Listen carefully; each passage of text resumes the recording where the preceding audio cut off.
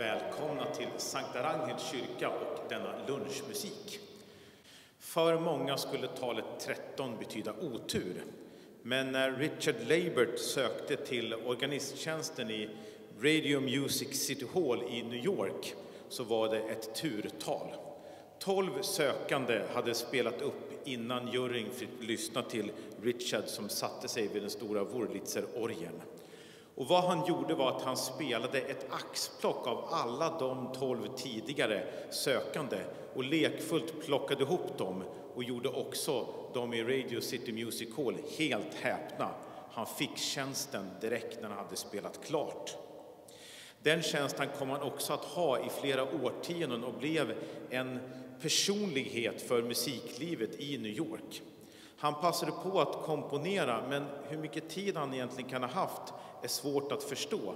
Fyra stycken shower varje dag, året runt, var han med och spelade i denna Music Hall, detta centrum av musik i New York. Han var organist, han var pianist och han var arrangör. Han skrev mycket musik och framför allt en del julmusik. Och det vi ska lyssna till idag är Under the Christmas Mistletoe. Och kanske missen, misten var också en lyckosymbol för Richard själv. Man kan väl säga att av den här musiken kan man inte bli annat än glad. Under the Christmas Mistletoe, Richard Labert.